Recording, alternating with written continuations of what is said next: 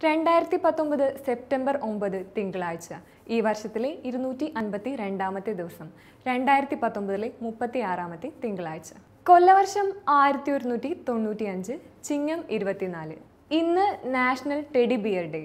ആയിരത്തി എഴുന്നൂറ്റി അൻപത്തി മൂന്നിൽ ഇതേ ദിവസമാണ് നീരാവി ഉപയോഗിച്ചുള്ള യന്ത്രങ്ങൾ നോർത്ത് അമേരിക്കൻ കോളനികളിൽ എത്തുന്നത്. ചലച്ചിത്ര താരം അക്ഷയ് കുമാറിന്റെ ജന്മദിനമാണ് ഇന്ന്. സിംഗർ ലാരി ഹോവിസ് ഓർമ്മയാകുന്നതും ഇതേ ദിവസമാണ്.